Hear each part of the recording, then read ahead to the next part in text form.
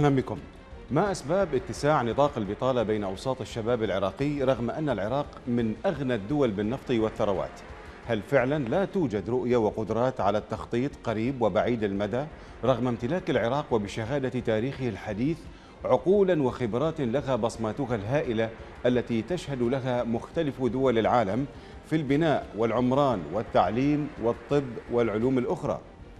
بينما حذر برنامج الأغذية العالمي من ارتفاع نسب البطالة في العراق إلى أكثر من 40% وذكر البنك الدولي أيضا أن الاقتصاد العراقي لن يكون قادرا على خلق الوظائف لأعداد الشباب المتزايدة نتيجة تزايد عدد السكان. ويصف خبراء اقتصاديون اتساع معدلات الفقر المصحوب بزيادة معدلات البطالة في العراق بالقنبلة الموقوتة بسبب الفساد المالي والإداري الذي يتصف به نظام المحاصصة في العراق منذ عام 2003 وحتى الآن. بينما يتوقع أيضا مراقبون للمشهد العراقي أن سوء إدارة ونقص الخدمات الأساسية أسهم بشكل كبير في اتساع نطاق البطالة وجعلت الشباب المطالب بحقوقه في العمل والحياة الكريمة أشبه ببركان على وشك الثوران والانفجار. هذه المحاور نناقشها في برنامج تحت الضوء هذا اليوم بعنوان البطالة بين أوساط الشباب العراقي. نناقش هذه المحاور مع ضيوفي الكرام الكاتب والمحلل السياسي ضيفي في الاستوديو الأستاذ حسين السبعاوي. مرحبا بك أستاذ حسين. وأيضا عبر سكايب الخبير الاقتصادي الأستاذ صباح علو. مرحبا بك أستاذ صباح. أهلا ومرحبا بكم. إذا مشاهدينا الكرام نشاهد بداية هذا التقرير. كونوا معنا.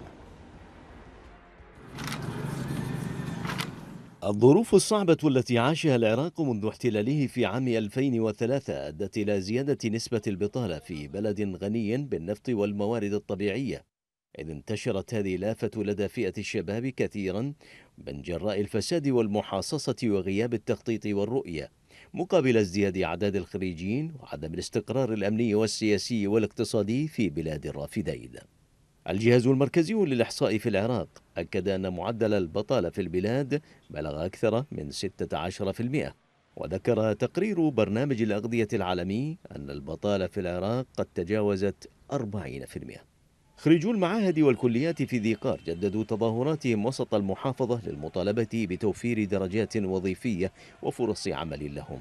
إذ قاموا بإغلاق ديوان محافظة ذي قار احتجاجا على عدم شمولهم بالتعيينات وقامت القوات الحكومية بتفريقهم بالقوة واعتقال عدد منهم. خبراء اقتصاديون وصفوا مشكلة البطالة بالقنبلة الموقوتة إذ تصل نسبتها في العراق إلى أرقام غير مسبوقة بما يعني جوع أسر بأكملها وهو الأمر الذي يثير القلق والغضب أيضا من إغفال الحكومة معدلات البطالة المتصاعدة. البنك الدولي تحدث في تقرير سابق عن أن العراق يقف في مفترق طرق وبلوغه نقطة أصبحت فيها الحلول السريعة محدودة مؤكدا أن الاقتصاد أضحى بحاجة إلى تحول جذري.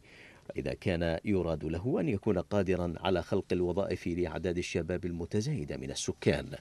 ازدياد معدلات البطالة في العراق إلى مستويات غير مسبوقة على الرغم من ثروة البلاد النفطية الضخمة. التي يبدو أنها لم تسهم في تحسين مستوى معيشة العراقيين نتيجة للفساد وسوء الإدارة ونقص الخدمات الضرورية مما يسهم كثيرا في اتقاد ثورة تطيح برموز الفساد وميليشياتهم المدعومة من إيران.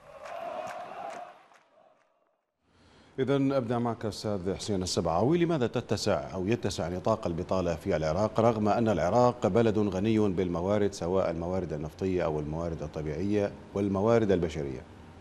يعني أنا أولا بداية تحية لكم ولمشاهديكم وللضيف الكريم الأستاذ صباح علو أنا أعتقد أن العراق يفترض بأن لا يوجد فيه أي بطالة يفترض به نسبة الترف والغنى على مستوى عالي استوى بباقي الدول لأنه دولة نفطية دولة زراعية دولة تجارية بنفس الوقت دولة صناعية يستطيع أنه يجد موارد مالية كثيرة. إلا أن هناك أسباب رئيسية في وجود البطالة ووجود نسبة الجوع الفقر وارتفعت في العراق. السبب الأول والرئيسي هو الفساد اللي موجود في جميع مفاصل الدولة. اليوم يعني يعني إحنا لا نتكلم عن شيء مخفي أو عن شيء غريب. اليوم مفاصل الدولة ابتداء من مجلس النواب الحكومة الدرجات الخاصة نزولا إلى بواب الوزارة. الفساد كان استشرى في كافة مفاصل الدولة فمن الصعب أن تعالج قضايا الفقر والبطالة وإلى آخره. السبب الثاني سوء إدارة موارد الدولة. العراق مثلا يعني كبلد 40 آه، مليون عندما تأتي الدولة وتوظف ستة ملايين هذه النسبة غير مقبولة مع مع عدد السكان، لكن هل أداء هذا الست ملايين هو يساوي أداء يعني مثلا 2 مليون؟ الجواب لا، لماذا؟ لأنه لم تأخذ من الوظائف ما ما يحتاجه المجتمع، يعني عسكرة المجتمع في حين العراق لم يجد أي تهديد خارجي تعداد القوى الأمنية في العراق مليون ومئتين ألف مسلح يعني عسكري أو مدني يعني آه، أمن رجل أمن. هذا العدد أكبر مما يحتاجه العراق. الأحزاب عندما أخذت آه، تتعامل مع الملف الاقتصادي أنه من ينتمي لهذا الحزب يأخذ ملف ويوظف. آه، من ينتمي أو ينتخب هذا الحزب يوظف بغض النظر عن كفاءة أو عن احتياج بمعنى جهاز التخطيط المركزي كان شبه معطل أو ملغي. ليس له أي دور في في آه، يعني الوظائف وفي تحديده وفي انواعها وفي كل شيء.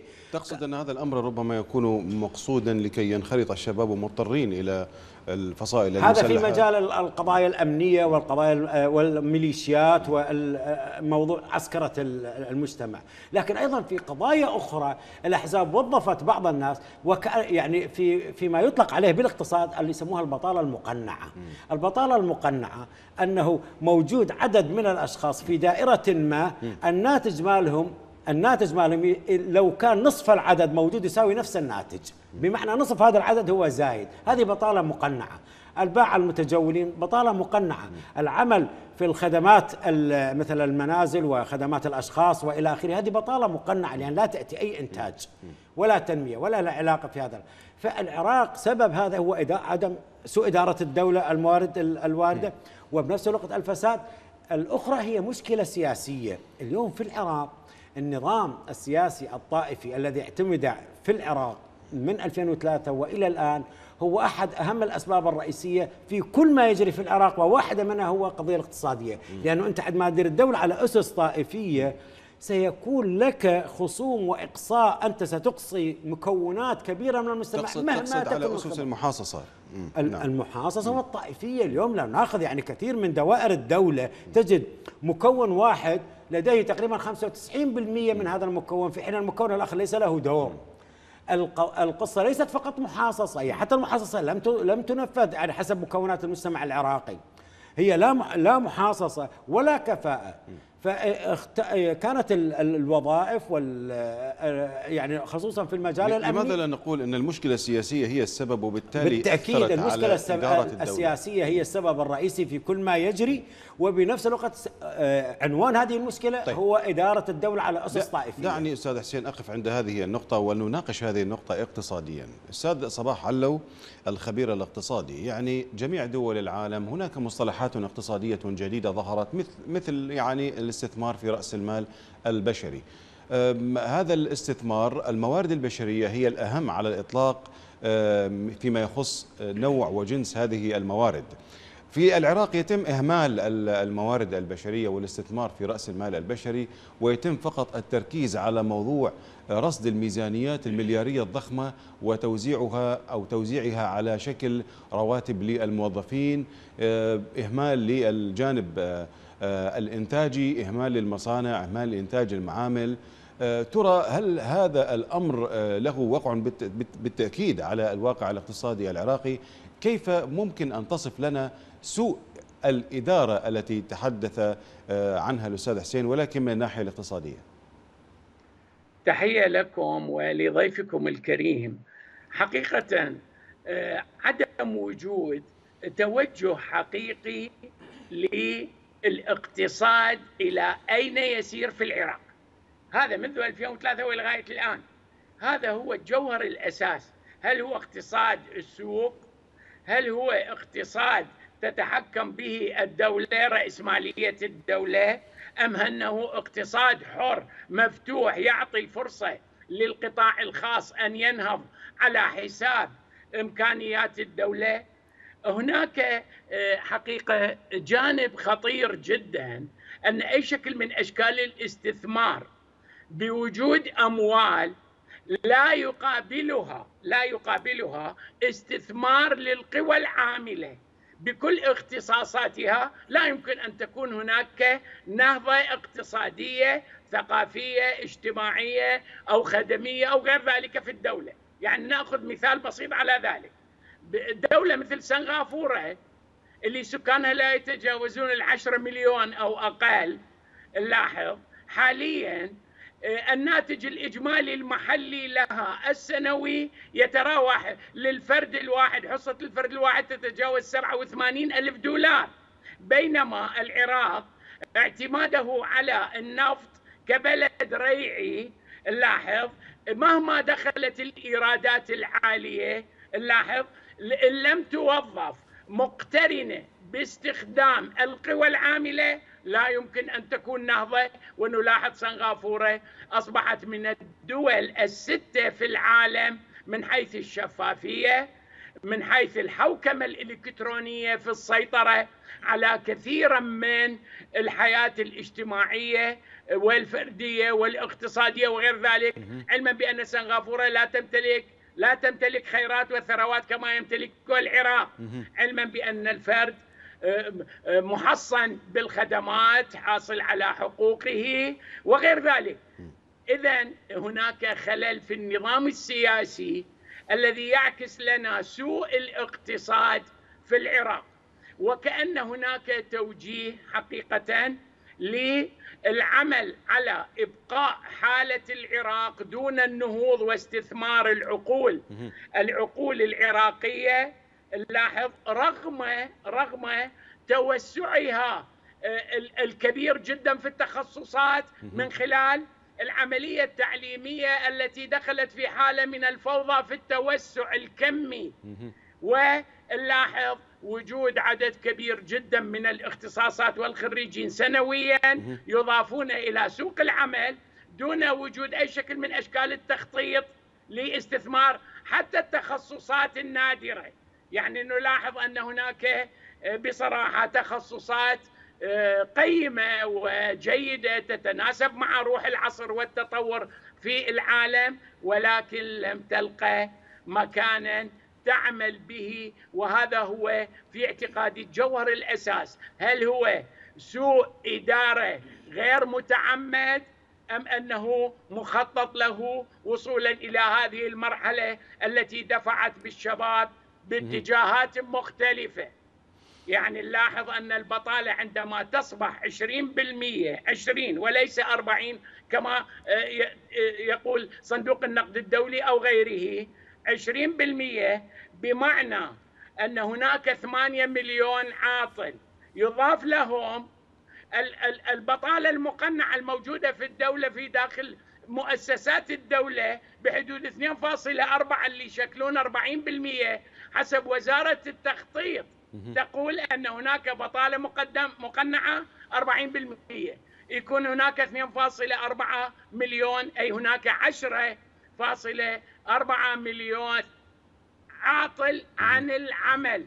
لا يقدمون إنتاجا للبلد مستهلكون بمرتبات أو بغيرها. لاحظ أما زيادة البطالة تعكس لنا سلوكيات خطيرة جدا في التركيبة الاجتماعية الاقتصادية في السلوك. هناك أمر أيضا للجريمة والمخدرات وحمل السلاح انتشاره نلاحظ لا يمر يوم إلا وهناك في كل مدن العراق أنواع مختلفة من الجرائم التي عكست لنا حالة البطالة مقترنة بزيادة الفقر. طيب. يعني كل ما تزداد البطالة تزداد حالة الفقر ويقدر بحدود حوالي 40% حاليا يعيشون تحت خط الفقر أي لا يحصلون في اليوم الواحد على بينما 1.5 بينما هناك تقارير لا. حكومية أستاذ صباح تتحدث عن آه، مئة ألف عامل أجنبي يعمل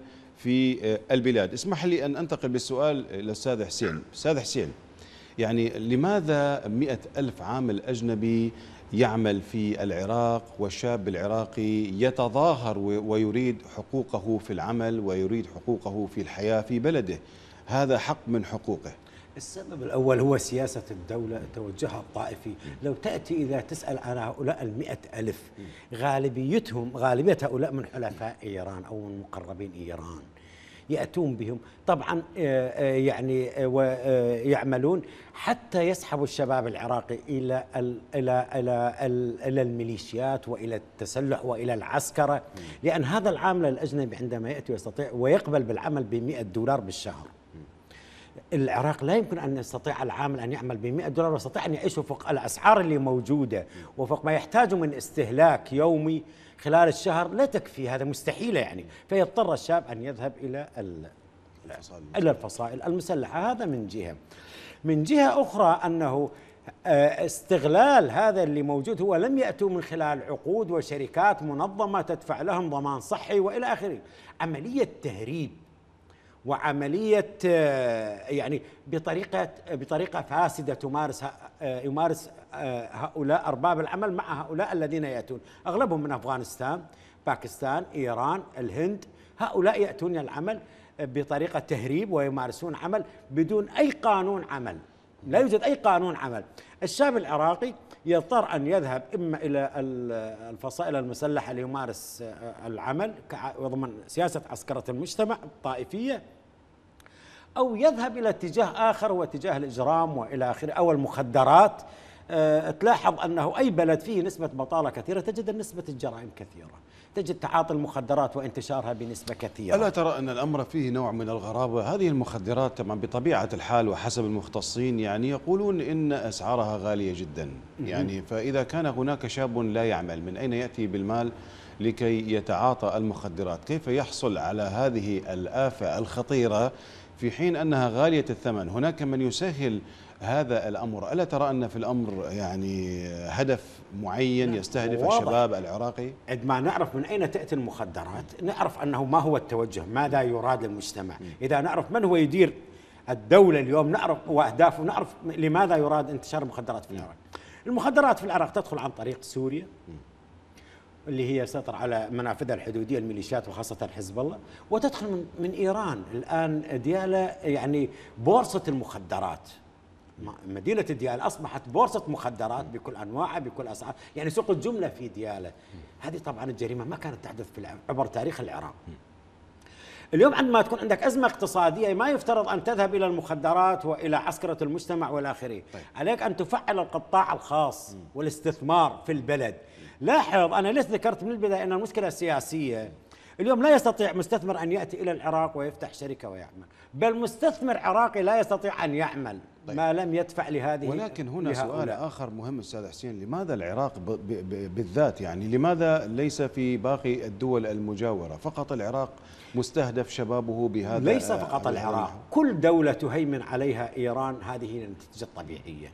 في لبنان نفس العراق. طيب. في سوريا نفس العراق في اليمن نفس العراق هذه الدول التي هيمنت عليها تقصد إيران. فقط الدول التي فيها نفوذ إيراني النفوذ الإيراني وميليشيات التابعة لإيران وحلفاء إيران وإيران بذاتها في كل دولة تدخلها تفكك هذه الدولة تحولها من دولة مركزية إلى دولة فاشلة مجموعة كانتونات مبنية على الطائفية تظهر فيها داعش يعني بطريقة يعني وك يعني وكأنما وجود الميليشيات ووجود داعش هي مع المشروع الإيراني تدخل إلى البلد لفك لفكك هذه الدولة. أيضا هذه ضمن المشروع الأمريكي اللي هي الفوضى الخلاقة التي طيب. تريدها أمريكا. منذ بداية الاحتلال أستاذ حسين والحديث آه، اسمح لي فقط أن أنتقل للأستاذ صباح. نعم. أستاذ صباح آه، الحديث بعد الاحتلال أو قبل الاحتلال كان أن العراق سيكون بلدا أنموذجا يحتذى به بين الدول. هناك ستكون خصخصة سيكون هناك دعم للطبقة المتوسطة دعم للقطاع الخاص في العراق. ولكن بعد الاحتلال بثواني بدأ الانهيار آه، أن أخذ بمجراه في العراق. الانهيار الاقتصادي والانهيار بكل وبجميع الاتجاهات.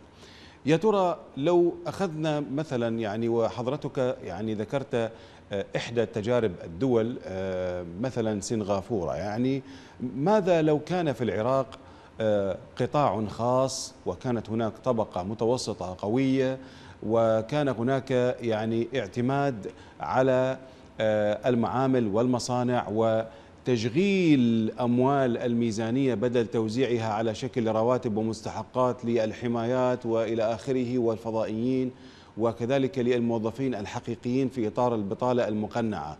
لو كانت الميزانية تشغيلية فعلية وكان هناك وكان هناك يعني موارد ترصد لبناء مصانع ومعامل.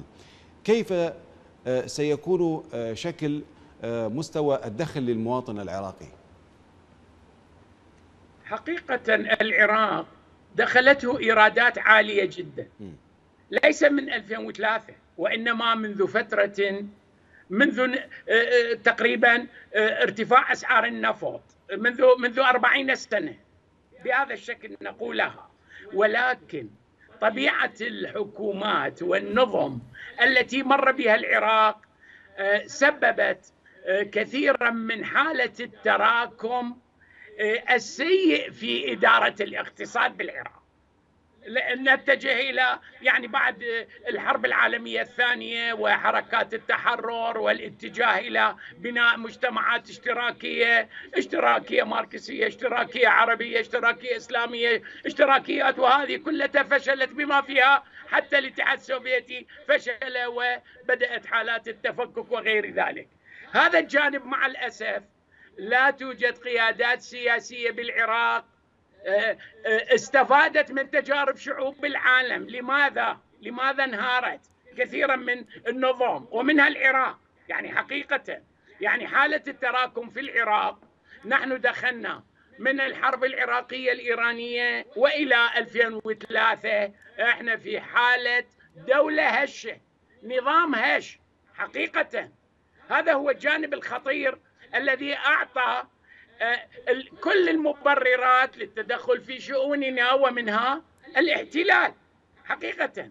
لذلك نلاحظ ما نعيشه اليوم هو حالة تراكمية إضافة إلى عملية الاحتلال الأمريكي وانعكاسها ثم التدخل آه، آه، الواضح في كل مؤسسات الدولة من قبل إيران التي أعطت فرصة لكل الولائيين لها من خلال المحاصصة والطائفية ونصرة المظلوم ونصرة آل البيت ومعروف إيش باتجاهات مختلفة. ولغاية الآن نحن نسير نسير حقيقة بشكل أو بآخر ما بين هذه التوجهات. لذلك نلاحظ أن البطالة ازدادت اعتمادا على الإيرادات النفطية التي توزع يعني لاحظ 2004 2005 نلاحظ الموازنة التشغيلية كانت لا تتجاوز ال 50% والعمل على وجود 50% أخرى من الإيرادات توظيفها لعمليات إعادة بناء البنية التحتية للعراق. ولكن الذي حصل بعد 2006 بعد الانتخابات وتشكيل حكومات محاصصاتية نلاحظ تزداد في كل سنة. الموازنات التشغيلية وتنخفض الموازنات الاستثمارية. وهذا أدى إلى حالة من التراكم وصلنا إلى مرحلة بحيث 2019 2018 ليس لدينا كما يصرح وزير المالية أو رئيس الوزراء. مستقبلا بعد ثلاثة أشهر أربعة أشهر لا نمتلك إمكانيات دفع المرتبات. بمعنى أن أصبحت الإيرادات لا تكفي فقط إلا لعمليات الموازنة التشغيلية التي تسرق أكثر من نصفها وهذا هو سبب سبب حالة الهدر، يعني لو ترجع إلى الموازنات حقيقه نلاحظ التخصيصات في 2013 لوزارة التجارة عالية جدا، التخصيصات إلى وزارة الصحة والتعليم وغيرها كانت عالية ولكن لم تستثمر بشكل أو بآخر تنعكس على خفض البطالة وخفض الفقر. ولذلك نلاحظ ظاهرة الفقر حاليا بالعراق أصبحت ظاهرة مركبة. السبب هو هناك فقر في صحي. يعني ما خصص في 2019 لوزارة الصحة يستفيد منه فقط 33% من الشعب العراقي. وفق دراسات لصندوق النقد الدولي. كذلك أيضا ما خصص للتعليم. هناك فقر في التعليم. المستفيدين من مخصصات التعليم في الموازنة 2019 لاحظ 60% اي ان 40% محرومين. هؤلاء وين يتوجهون؟ هذا هذا جانب كلش مهم يعني. يؤدي ذلك إلى زيادة في البطالة، زيادة في الفقر، زيادة في الشرود وحاله حالة الهجرة. أيضا هناك أيضا الفقر المعيشي حيث أن نسبة الفقر حاليا بالعراق تزداد بسبب أن دخل الفرد الفقير لا يتجاوز الدولار والنصف وفق الإحصاءات الدولية. اذا نحن في حالة خطيرة جدا من الصعب جدا الخروج من هذه الأزمات بوجود هذه العقلية السياسية الاقتصادية نعم. التي سببت اشكالا كبيرا في توقف عديد المشاريع أو المصانع التي كانت موجودة قبل 2003 دون العمل على استعادتها وتوظيف الإيرادات الداخلة في عملية امتصاص البطالة وتوظيف التخصيصات. أحب أن أذكر نقطة. نعم نعم نعم تفضل أستاذ صباح.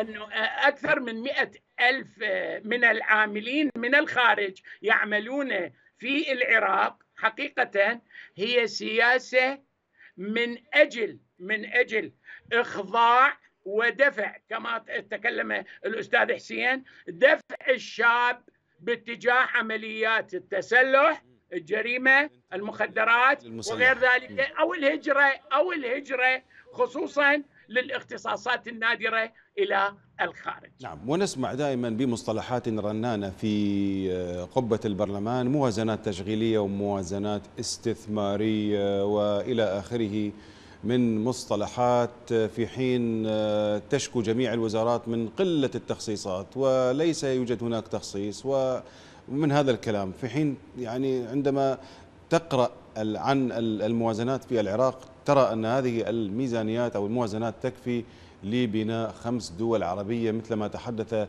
خبراء اقتصاديون. ولكن الشاب العراقي يعاني من البطالة ويتظاهر من أجل آه، الحصول على آه، وظيفة.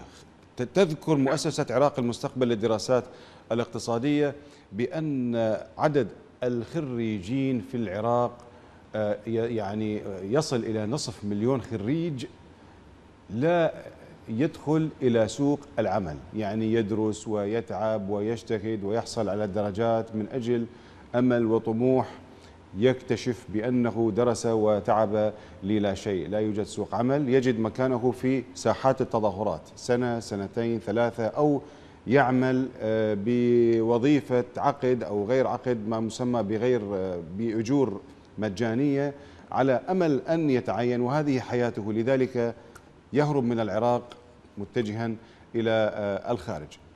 نشاهد مشاهدينا الكرام آه، هذا التقرير عن اتساع نطاق البطالة في العراق وأسبابه وتداعياته.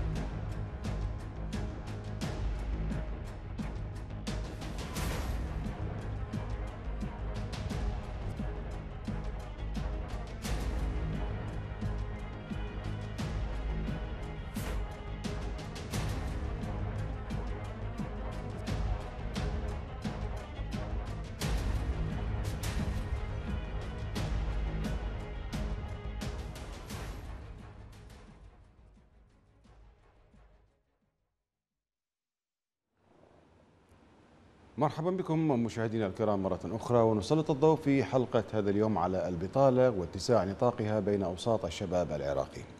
أستاذ حسين آه، بغياب سوق العمل واستهداف الطبقة الوسطى يعني عندما تنظر إلى العالم وكيف ينظر إلى موضوع الاستثمار في رأس المال البشري وخلق الوظائف كلها مصطلحات تجدها في التقارير التابعة للأمم المتحدة التي تتبعها جميع الدول آه، على آه، الإطلاق ما عدا دول معينة.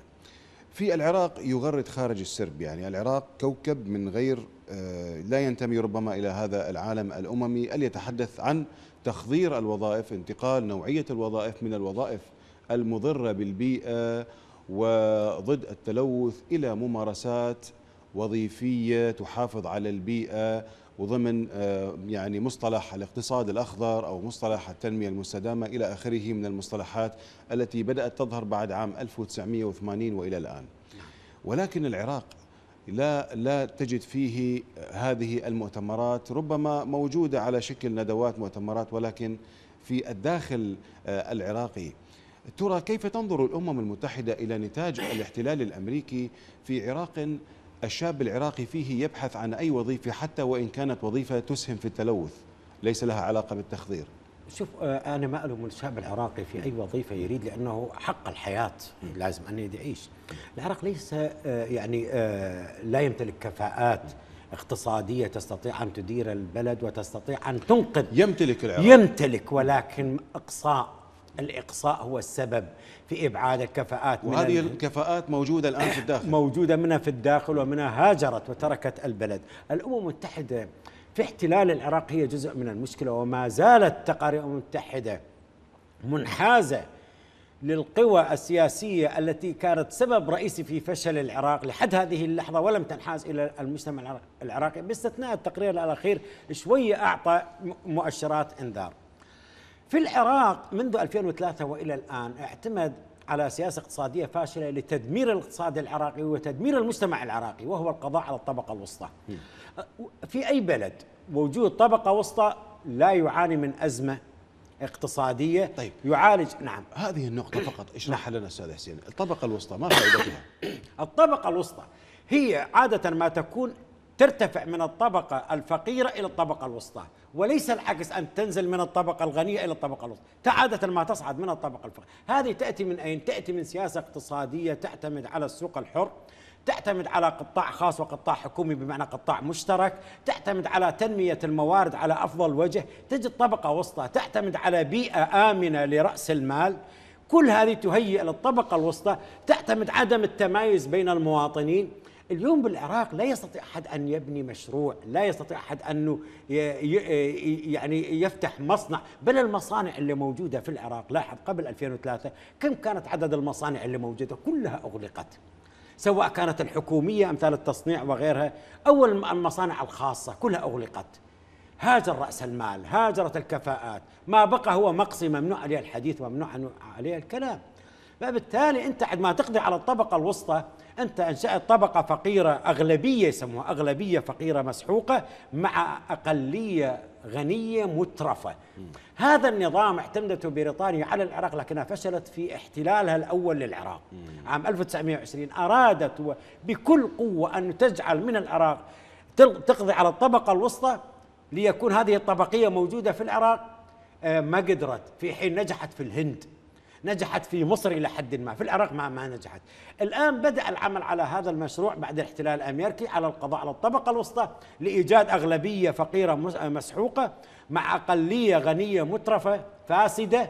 هذه الأ- الأغلبية الفقيرة المسحوقة آه، لديها الاستعداد للعمل في أي مكان في أي نوع من أنواع العمل لا يهمها بعد حتى تخصصها.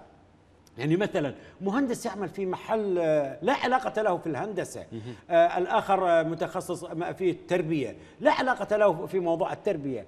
إضافة لذلك أنه آه، 50% منهم يعملون في بطالة مقنعة.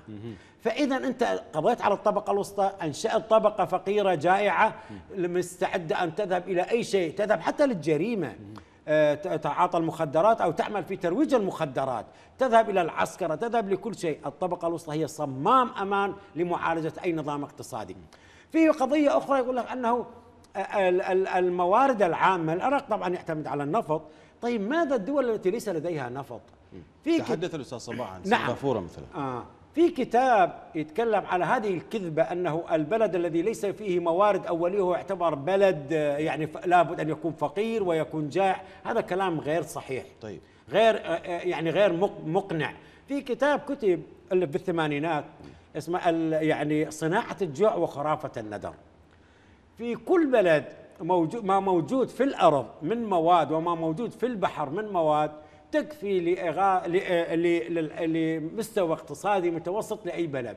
ذكر صاحب الكتاب أنه فقط في البحر ما يكفي البشرية من طعام وغذاء صورة في البحر فقط وليس في الأرض ولا في الجو ولا في كل شيء.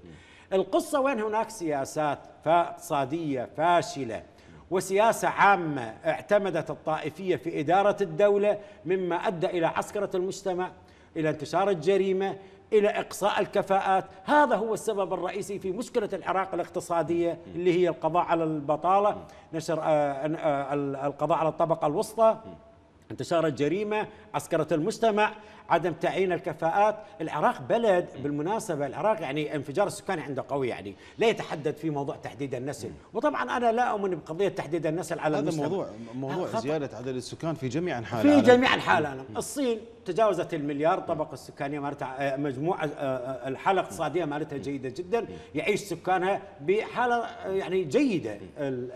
لو لو افترضنا أن الصين تعتمد على الموازنات لكي توزعها رواتب يعني على البشر. مستحيل. شوف العراق. العراق وارد الشهري نعم. من النفط 11 مليار. 11 مليار تكفي موازنة السنة من الدول من بقية الدول. العراق موازنة مالته 150 مليار. لا خدمات لا آه، حالة اقتصادية جيدة للمواطن. المواطن مدى يلتمس؟ لا من خلال الأداء الحكومي والخدمات ولا من خلال الوارد الاقتصادي الفردي. طيب. لا لديه وارد ولا لديه خدمات. في حين الموازنة 150 مليار ما حدث أنه آه موازنه بهذا الحجم. طيب أستاذ حسين اسمح لي فقط توجه بالسؤال أستاذ صباح. أستاذ صباح هل النفط نقمة؟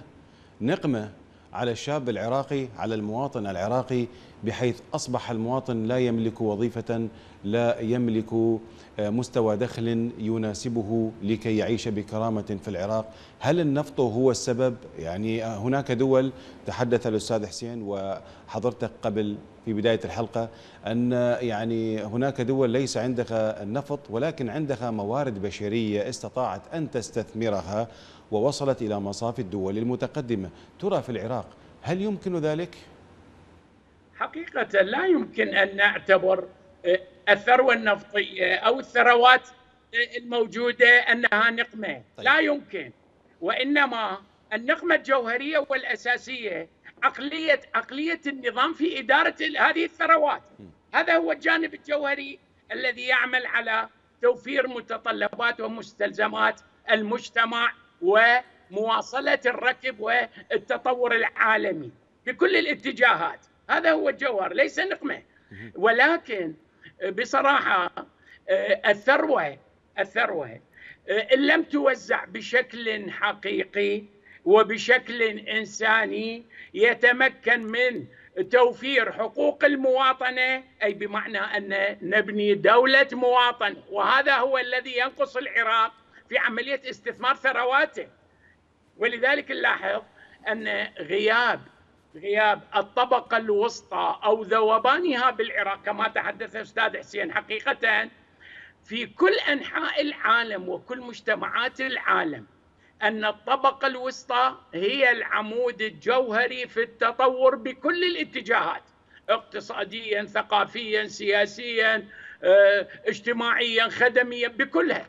لكن هذه الطبقة عندما تغيب لن يتمكن المجتمع من الارتقاء لو فرضنا في الجانب السياسي كما حصل لغاية الآن نحن منذ 10 10 2021 ولغاية اليوم لم نتمكن من تشكيل حكومة ماذا يعني ذلك؟ هل غياب العقلية؟ لا وإنما غياب هذه الطبقة أن تكون موجودة في إدارة الدولة ولذلك هي عمود وكذلك الإقتصاد والتعليم ولذلك إحنا سنشهد في اعتقادي السنتين الثلاثة القادمة إن لم إن لم تحصل عملية إصلاح بالوقت الضائع حاليا نحن بالوقت الضائع. وأنا أشك أن هذه الطبقة السياسية تتمكن من إصلاح الأزمات التي يعيشها العراق. يعني العوامل الأربعة الجوهرية في إدارة أي دولة تكون مستقرة ومتطورة هو شرعية النظام شرعية الحكومة هذا لغاية الآن ما يترسخ. أي مفاهيم ديمقراطية لم تترسخ في العراق والممارسة. وأكبر دليل أن هناك قوى سياسية وأحزاب بالسلطة تمتلك أذرع مسلحة وهذا مخالف للدستور. أو وجود إدارات في رئاسات الدولة تمتلك ازدواجية الجنسية وهذا أيضا مخالف للدستور. ونلاحظ إعلامهم أن هناك تأخير في عملية الوقت الزمني للدستور وإنجاز عمليات الانتخاب وتشكيل حكومة الرئاسات. يربطون يربطون يربطون التقدم والرقي والرخاء بتشكيل الحكومة وكأن الحكومة منذ 2003 وإلى الآن حكومة يابانية يعني. طيب نعم آه. هي هنا هنا تكمن المشكلة الحقيقية في أزمات العراق حقيقة نعم صباح. ولذلك نلاحظ ذوبان الطبقة الوسطى بالعراق إذا استمرت بهذا بهذه الأزمات الخانقة التي يعيشها العراق نحن نكون على شفا حفرة من النار حقيقة في السنوات أو الأشهر بالأحرى القادمة من كان الله عملية بناء الدولة. يعني آه، الاقتصاد العراقي لن يكون قادرا على خلق الوظائف أستاذ حسين مثل ما ذكر صندوق النقد الدولي، لن يكون قادرا على على يعني إيجاد حلول سريعة للأزمات الاقتصادية في العراق.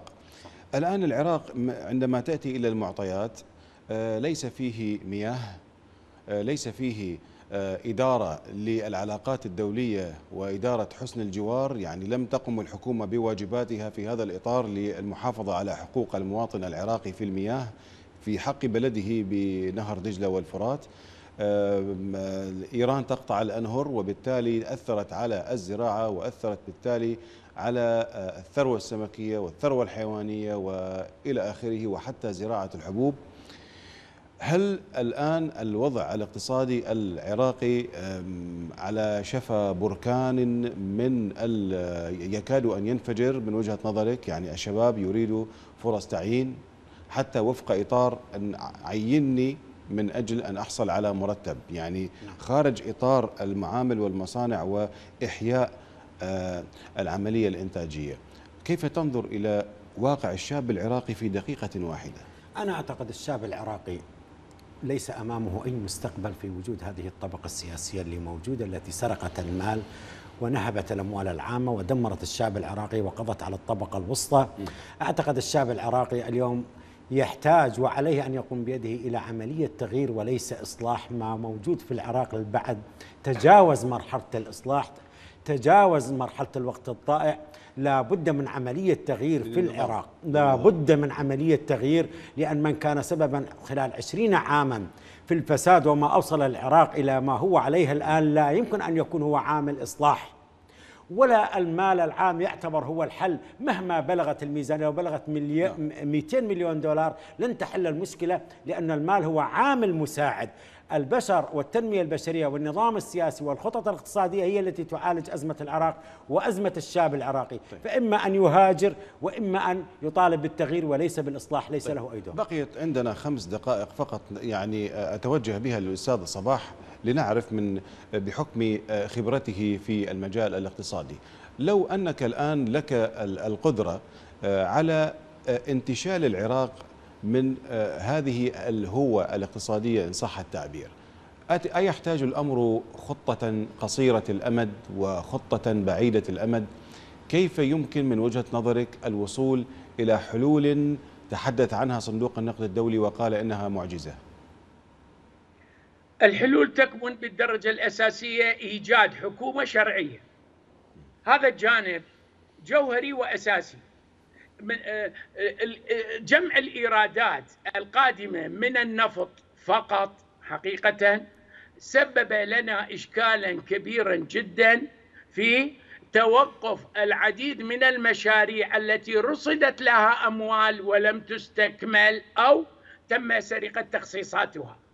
لذلك نلاحظ من الضروري جدا البحث اولا عن نظام يضمن يضمن آه، أن هذه المخصصات يتم عملية استثمارها في عمليات إيجاد الوحدات الإنتاجية بكل اتجاهاتها في الزراعة، في الصناعة، في الخدمات، في كل هذه المجالات.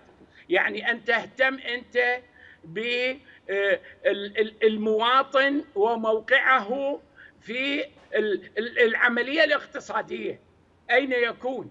هذا جانب مهم جدا، يعني لغاية الآن حكومتنا لم تتمكن من مفاتحة كل من تركيا وإيران التي قطعت عنها أكثر من نصف المياه القادمة في دجلة والفرات وسببت لها حالة من حالات التصحر والجفاف ونقص المياه حقيقة أن تفاتحها بوجود مواقف حقيقية، يعني الميزان التجاري بين العراق وتركيا وإيران يتجاوز ال 25 مليار سنويا. هل بإمكان العراق والحكومة الحالية أن تتخذ قرارا في تخفيض هذا التوجه وتتوجه إلى دول أخرى كي تعمل على ضغط على تركيا وإيران في الجلوس على التفاوض في حقوق العراق المائية، م. هذا لم يحصل. م. وبالتالي وبالتالي من من باب أحرص أن تكون الحكومة تحرص على آه، إنتاج سوق للعمل وخلق فرص عمل للشباب. من يعني آه، تكون هناك آه، المرحلة هرمية من أعلى إلى أسفل. بالمحصلة هناك استهداف أو أهداف يجب أن تحققها الحكومة وفق واجباتها. هذه في حال لو كانت حكومه نعم. وطنية مؤمنة نعم. بهذا التغيير. هذا الجانب. أن توجد قيادة وطنية مؤمنة بهذا التوجه سيعطي الإمكانية في فك أزمات العراق. نعم أستاذ حسين كيف تعلق؟ أنا أعتقد المال العام والواردات العامة تحتاج إلى أيادي أمينة لتحفظها. حتى تنهض عملية اقتصادية لابد أن توفر طيب، أمن. طيب من أين نأتي بالأيادي الأمينة؟ موجودة؟ ما عندك خلاص أنت تبقى يبقى المالك سائب ويبقى المال مسروق ومنهوب والفساد يبقى مستشرق إذا كانت محصصة هذا واحد. نعم, نعم. النقطة الثانية يحتاج إلى أمن قبل الاقتصاد. اليوم توفر أمن تبدأ بعملية اقتصادية. ما لم يكن هناك أمنا في المجتمع في البلد لا يوجد هناك أي مشاريع اقتصادية. الأيادي الأمينة الأمان في البلد ثم تبدأ في مشاريع اقتصادية تشجيع القطاع الخاص القضاء آه، آه، على آه، على البطالة المقنعة من خلال استثمار الطاقات الشباب أو استثمار التنمية البشرية يعني استخدام رأس المال البشري أفضل بكثير من استخدام فقط رأس المال النقدي. فإذا هذه النقاط الأساسية هي التي تستطيع أن تنهض بالعراق وهذه كلها مرتبطة بعامل سياسي لا بد من عملية تغيير. في العراق ولا أعتقد أي محاولة لأي عملية إصلاح لإنهاض لا في العراق سياسيا ولا اقتصاديا ولا امنيا في ظل وجود هذه الطبقة السياسية. شكرا لضيوفي الكرام في هذه الحلقة الاستاذ حسين سبعوي الكاتب والمحلل السياسي ضيفي في الاستوديو والأستاذ صباح علو الخبير الاقتصادي ضيفي عبر سكاي. في الختام مشاهدينا الكرام تقبلوا مني أطيب تحية وفي أمان الله. شكرا سيدي